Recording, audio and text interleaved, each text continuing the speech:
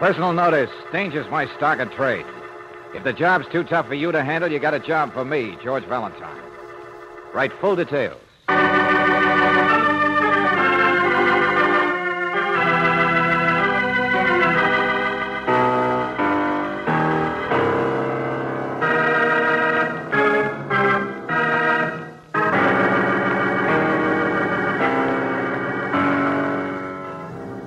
Standard Oil Company of California, on behalf of independent Chevron gas stations and standard stations throughout the West, invites you to Let George Do It.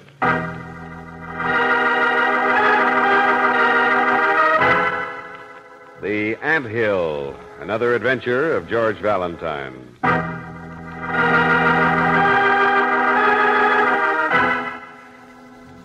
Dear Mr. Valentine, I am without doubt the ugliest man in the world. Hey, wait a minute. Who is this? However, I need your help, or the man standing beside me will go crazy.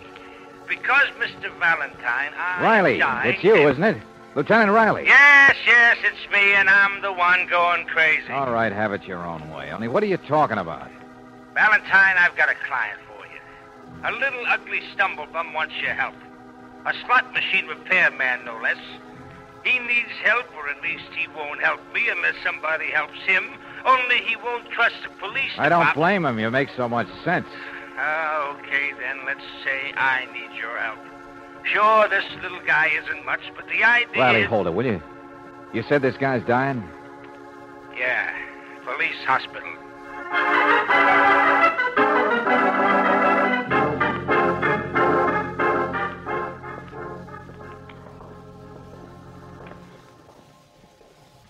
The doctor gives him a day or two at the best. Can't operate, can't stop the infection. From what, Lieutenant? Oh, gunshot wounds, Miss Brooks. One gun, but all six shells. Happened in a dark alley. Whoever it was didn't want to miss him, I guess. That little man must be tough. Maybe. Or lucky or unlucky. He's one of those guys who's born to end up at the bottom of the pile, Valentine. Then why are you so interested in him? It's just possible that he can steer us all the way to the top of the pile. His name's Trailer. I told you he was the littlest shrimp in the slot machine racket. The repairman. Well, we've never found out who the big shrimp is. and- Ah, I see. I worm my way into the man's confidence, and then maybe he spills. Is that it? Blows the whole racket apart. No, no, no. You just help the little guy find his girl.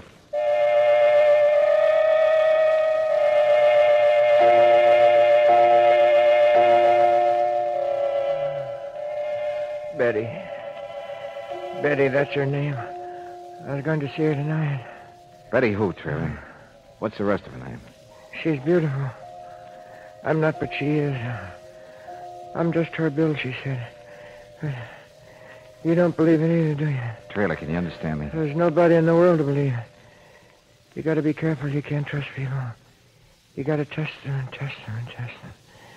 And then, then you can't trust them because they're all the What are same. you talking about, friend? The uh, racket? I won't tell you anything. I won't. I should. All right, all right. Take it easy. Ants. Ants is what I'm talking about. Ants. Huh? You ever catch ants? Climbing on top of each other higher and higher, higher. Like. like ants. Did you? They all got to get ahead. Huh. I'm down at the bottom and I'm happy. I'm happy. Oh, sure. You're different. You're happy. That's right. That's right. Who shot you? Ants. You can test people to see if they're ants, you know. Put honey in front of them. See if they choke themselves. Only the dying's not bad. Why did you ask me? I don't know anything. I'm just, just Betty. Hey, Trailer. Fine Betty. Hey, look, Trailer. you- eh. Nurse? Betty. Guess you can have him back for a while.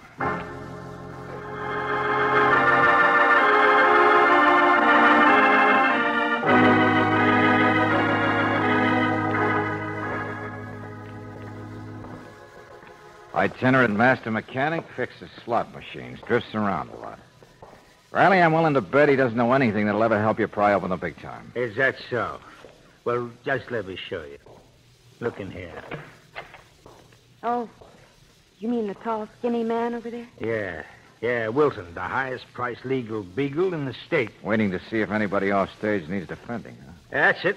The watchdog. Ever alert. Just in case the police have a squealer who might stop worrying about the girlfriend and climb out of his delirium long enough to sing. Sing? What's this? What's all this, Lieutenant? Somebody singing? That's right, Mr. Wilton. Trailer in there tells me you own all the slot machines in this state. yes, of course. It's just a sideline, though, rather a bother, particularly when I don't live in this town. Here on business, Mr. Wilton? I beg your pardon. Uh, Mr. Valentine and Miss Brooks. How do you do? Charles. No, I've uh, I've been retained by a client, Mr. Valentine. Oh, who's that? The Black Company. Hmm, Riley here knows about it. Oh, yeah, yeah, sure, sure. Out of town corporation. Manufactures Will o' the Wisps. Well, I'm only a lawyer. I'm not familiar. Oh, the Black Company's quite an outfit, Valentine. Perfectly legal. Only nobody knows who runs it. But do they own the slot machines? with... Of course not. No Do more than they I do. know who they make bank deposits for? Does this bird trailer even know who he works for? Does anybody? The basis of all good organization, Lieutenant, is the pyramid. Like a spy system, huh? No one man knows enough to incriminate any of the others. Then why are you here, Mr. Wilton? Why are you worried about this trailer person? I haven't really said I even know the man, have I? or that the company I represent is interested in anything more than employees' indemnity, his uh, accident, and so on. Spoken like a lawyer. Riley, maybe it is possible that the best of pyramids get a little wobbly once in a while. Huh? Maybe it is possible that the reason trailer in there got shot was that he found out too much about the higher ups in this. Yeah, hold it, hold, hold it, wait a minute. Yeah, hello, Lieutenant Riley. Oh, I, I, I, I wanted to speak to the nurse about Bill Trailer. Well, all right. Who's calling? Well, I, just the nurse, please. The nurse on duty there. Well, just a second. Valentine. Valentine, it's a girl. Now take it, will you? You're the intern on duty, or anybody, anybody. What's this? Misrepresentation, Lieutenant? Here, let me have it. Hello? Nurse. Well, she'll be here in a second, honey. I'm the receptionist. Well, I just wanted to find out about a patient. His name is Traylor. Trailer. Well, uh, wait till I get my cards here. Trailer. Hurry up, please. Somebody said he was there, but I, I want to know what happened to him. Well, we had an appendix case come in this morning. Oh, just tell me what happened to him. Just what? You don't handle cases like that in the police ward. I meant in the other ward. Hmm. She hung up.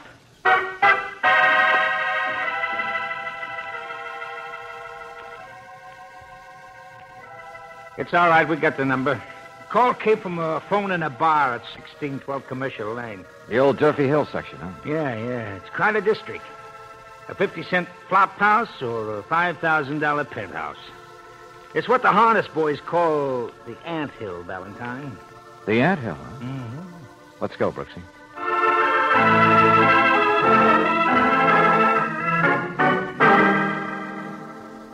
A million people a day use that phone. My friend, every third one tries a slug. But, bartender, all we wanted to know Besides, was. if you whistle at a dame, where's it get you? Maybe your boyfriend's a prize fighter. Me, I'll take television any day. The girl used the phone only a few minutes ago. Who was she? Should I know? Should I watch the cash register and be a bulldog for the phone company at the same time? right, all right. You don't know. Or maybe you don't want to know. I suppose you never heard of a guy named Trailer around here either. Trailer? No, not until the fight last night. What fight? Uh, him and Louis. Who'd you think? Nice guy, that trailer, I guess. But he'll never amount to much, mixing it up with a guy Hey, like slow Louis. down, will you? Slow down. Who's Louis? And what was this fight about? But a dame natural, classy blonde, lives up the street, name's Betty. Fight ended quick. We threw them both out. Betty. Sure. See what I mean about whistling at dame? You mean this guy Louis tough? Go on, go on. More about Louis. Not a price fighter, no, but a real sharp boy, just the same. Working his way up for a good outfit. Makes collections for the black company. That's slot machines to you. Oh, fellow employee, huh? Only Louis's higher up in the pile. He makes collections from guys like you. From me? You, you're crazy. Sure. Sure, what's the rest of his name? Louis what? Ask me no questions, I'll tell you no lies. Good day, friend. Brooksy, this is where your job begins.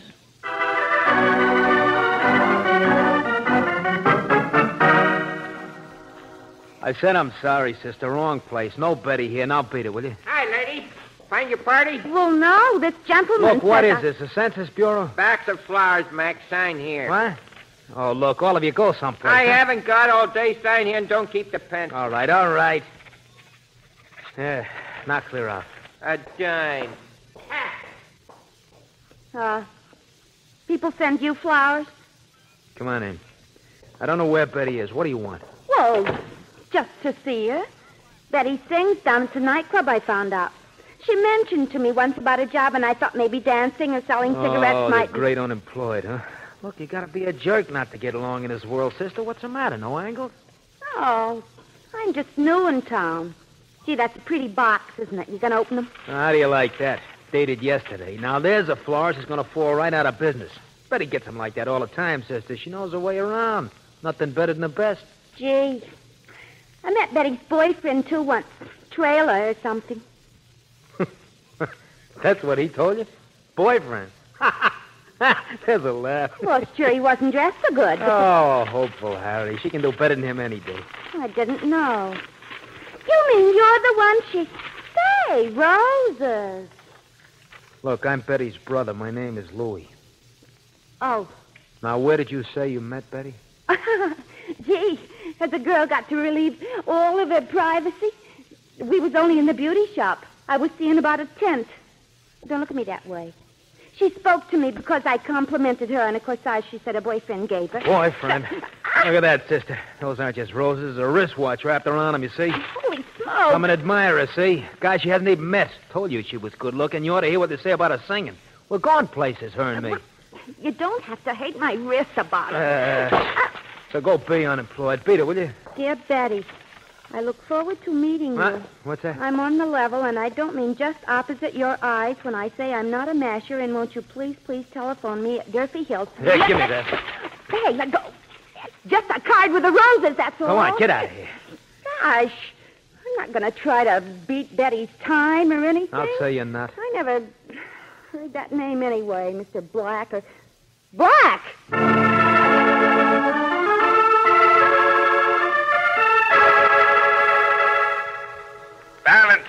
Course, of course she's all right. You talked to her yourself, did you? Sure, Brooksy read me the note she'd seen on the flowers, but we right. had a man watching him. After Miss Brooks left that place, this Louis fella took off in the opposite direction like a flying duck. But my man lost him. Now, now, will you please clear up what you've been doing? That Durfee Hill number in the flower note. It's a new number, Riley. Private listing and installed only a couple of days ago from somebody from out of town who just rented this place. What place? The fanciest penthouse in the whole section. Hey, Riley, people really look like ants from up here.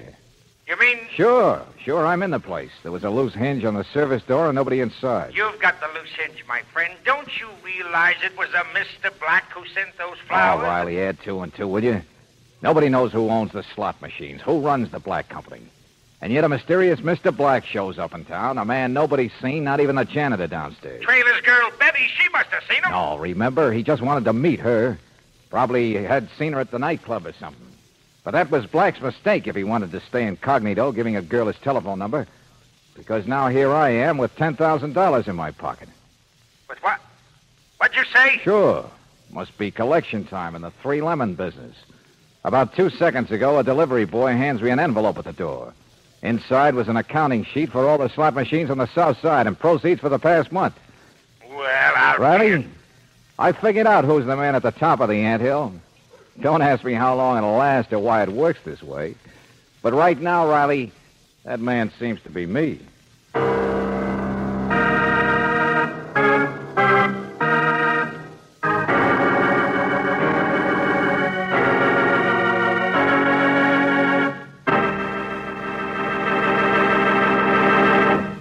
We'll return to tonight's adventure of George Valentine in just a moment.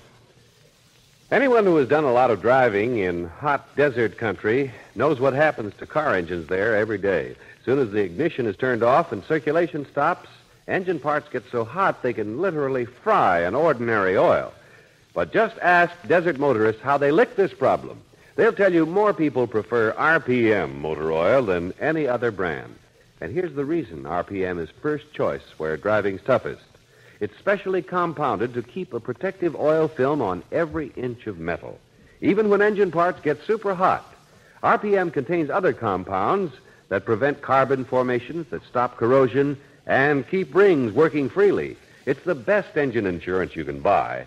So why not try in your own car the oil that's first choice where driving's toughest? Ask for RPM motor oil at standard stations and independent Chevron gas stations where they say and mean we take better care of your car.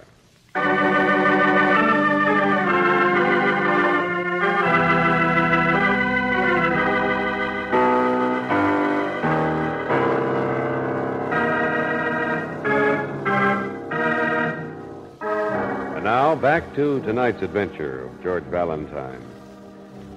You go to help Lieutenant Riley because there's a man dying in the police hospital who might tell what he knows about the slot machine racket, provided somebody helps him find his girl, Betty. Well, so far you haven't found Betty, though you have discovered that there's someone else in her life. Someone a little more successful than Trailer. A man who calls himself Mr. Black, who owns the slot machines, whose identity is a secret even from his own employees. Only if your name is George Valentine, now it's you who occupy Mr. Black's apartment. It's a dangerous game, and no one realizes that better than Claire Brooks. Down at the police hospital now, she seems unable to help. I I don't know anything. I tell you, I don't know. If you could just remember why you and Louis had that fight last night in the bar, was it over Betty? Betty. Or is something wrong in the business? In the black company? Find Betty. Just find Betty.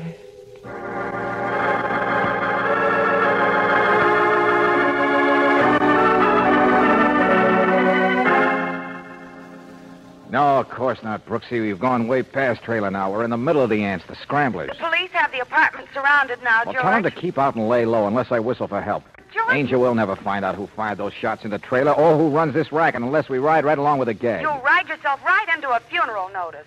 Sooner or later, the person who rented that apartment will come back I said, then... don't worry, will you, Brooksy, as long as I can. What? Go on, George. What do you people wash those shirts in anyway? If cement makes either. The collars come back with ground glass on the edge. George, what's the matter? Well, just Hey, don't use so much starch, that's all. Hello. I didn't mean to interrupt. The door was open. All right, then shut it and come in. Now, what is it? What do you want? Uh, don't get sore, boss. Now take it easy. Your name's Louis, isn't it? Uh, Yes, sir. Sure it is. How'd you know? You fit the description.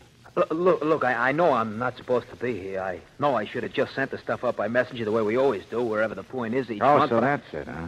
You're a collector. Uh, Durfee Hill and East Side, sir. You brought some money. All right, let's have it. Here, here. The accounting sheet's right on top. I had all those figures in my head. It's a trick, I taught myself. Right, Paul. I I know it's not healthy to come up here and find out who you are like this, Relax, relax will you. Wow. Yeah, yeah, I, I knew you wouldn't mind when you saw that. It's almost double last month. Twenty-three thousand five hundred bucks. What did you do? Fix the machine so they pay in bubble gum instead of Oh, jackpots? oh, oh, no, sir. No, I, I didn't touch him.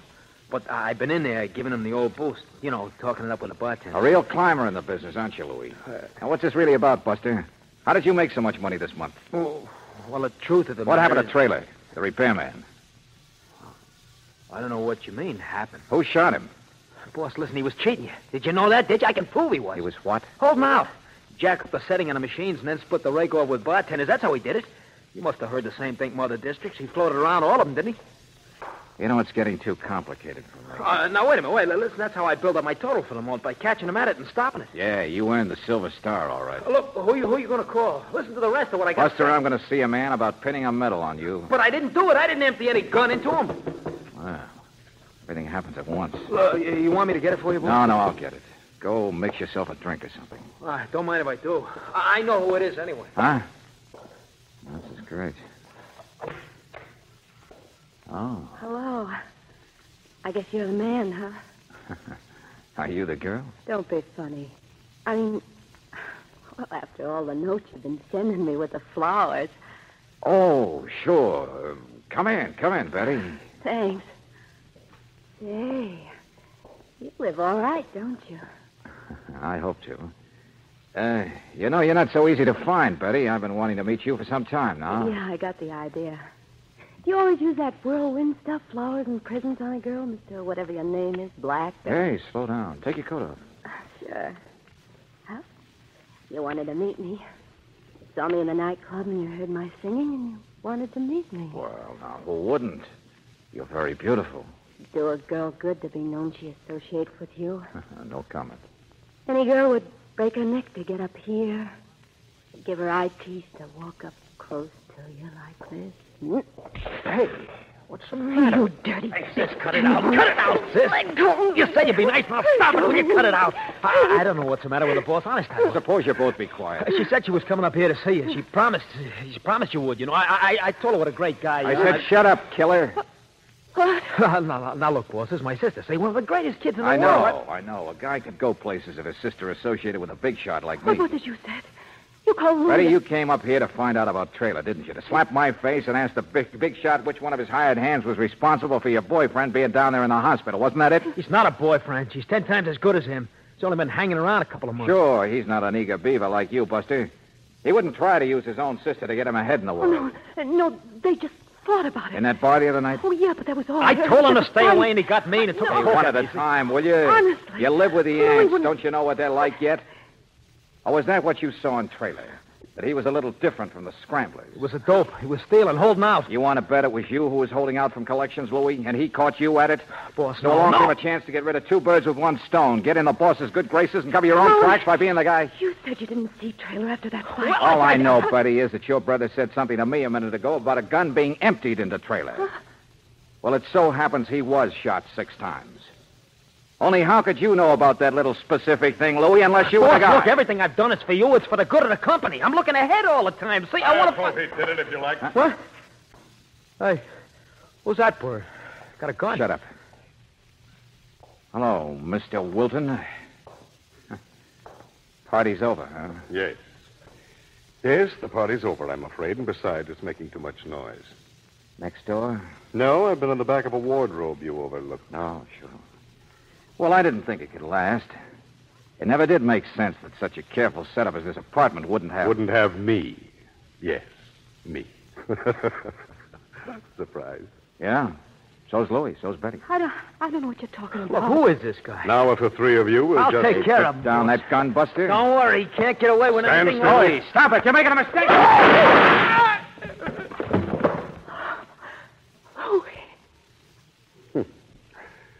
Ambitious to the end. Couldn't resist trying to make one last impression on you, could he, Mr. Valentine? Mr. What? yes, Betty. I'm afraid I'm the Mr. Black who's been so anxious to meet you. Yeah, it's too bad. Things couldn't have worked out better for us. You're Mr. Black, A great organizer. The best of pyramids totter once in a while. I was here to make my own collections this time. I thought it was about time for a visit to South America.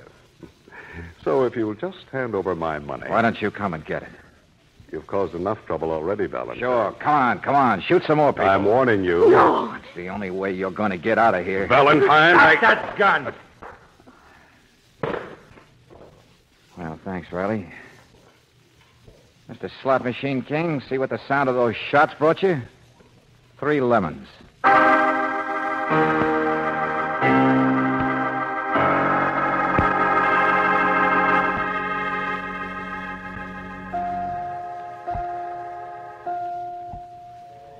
And that was it, Trailer. A gun test proved that Louis shot you. Yeah. Why? Well, ambition, I guess. Cover his own mistakes, get in good with the big boss. Can you understand me, Trailer? Mm-hmm. Can you understand what I'm saying? Yes, ants. All scrambling around. That's all Louis was. Sure. That's all Wilton is, too. But the girl's different. I think she'd like to see you, Trailer. Yeah. Yeah, we found Betty. She's a nice girl. Yes, yes, I know. Since when? What? I said, since when did you know? I mean, that she was the kind of a girl who's a little different. Who might have really meant it when she said she liked an ugly little guy like you. Mr. Valentine, I'm very tired. I'm very... Wilton isn't kidding anybody. I just want you to know that I know that, Trailer. I've begun to guess it. I... His biggest mistake was trying to take over the slot machine empire tonight. Like the rest, he couldn't resist the opportunity. George. Think back, Angel. Wilton's tall and skinny. Would he have ever written a note to Betty, just an ordinary sized girl, saying, I'm on the level, and I don't mean just opposite your eyes? No, of course he wouldn't. He's only a lawyer. A rat trying to grab what he can off a sinking ship. But Valentine, I had no idea. I'll say it for you, Trailer. Wilton didn't ever own the slot machines like he claimed he did at the last minute. And he wasn't the Mr. Black in the notes. No, they'd have to be a short man, probably. A little guy. Yeah. A little guy. Like maybe a man who'd made such a success out of not trusting anybody that he couldn't believe a girl liked him. He had to test her by making her think a big shot was after her, to see if she'd drop him and run for the hunting. He was in town for the collections anyway, and to nose around the way he always did, inspecting the ant hill he built while looking like a repairman. You mean Trailer here is really Mr. Black? Yeah, Brooksy. What would you have done, Trailer, if Betty had dropped you and chased after you, Mr. Black, the very way her brother wanted her to? I. I would have killed her. No. No, I. I wouldn't have.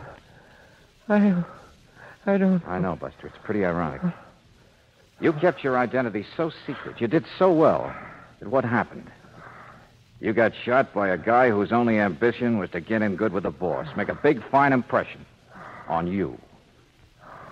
Now you still want to talk to Betty while you can, Mr. Black? No.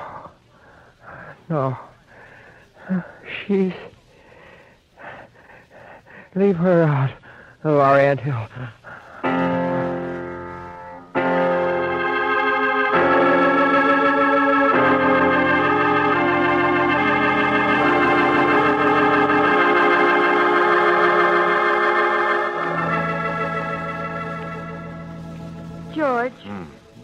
Maybe Trailer really wished that he could be just a repairman. Oh, there are lots of maybes, Brooksy. Maybe he was sick of himself. Guy who climbed so high must have looked down on a lot of squirming underneath. But, George, it's all in the way you look at an anthill. It's a city of workers, too, and they help each other.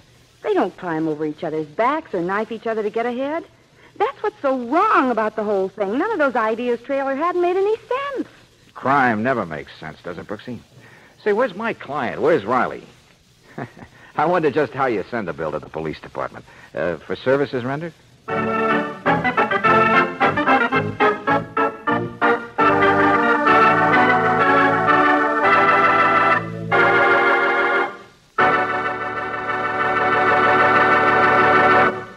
Let's pretend you're on a weekend motoring trip. It's a bright, sunny day. Everything's fine, except it's too bright, and the eye strain is terrific. Well, you can easily avoid that discomfort for your eyes. Just stop in tomorrow at an independent Chevron gas station or a standard station and ask for Polaroid day glasses. Ordinary sunglasses merely dim reflected glare, but Polaroid day glasses are scientifically made to actually blot out dazzling reflections. The kind of glare that bounces off highways, water, beaches, and snow to hit you in the eyes. These smartly styled glasses are light and comfortable to wear. They have wide angle coverage, and there's no obstruction of view. You can drive all day through bright weather, and Polaroid day glasses will leave your eyes feeling no strain. There's a lot of bright weather ahead, so for your own driving comfort, why not get these glasses right away? Buy them at any standard station or independent Chevron gas station where they say and mean we take better care of your car.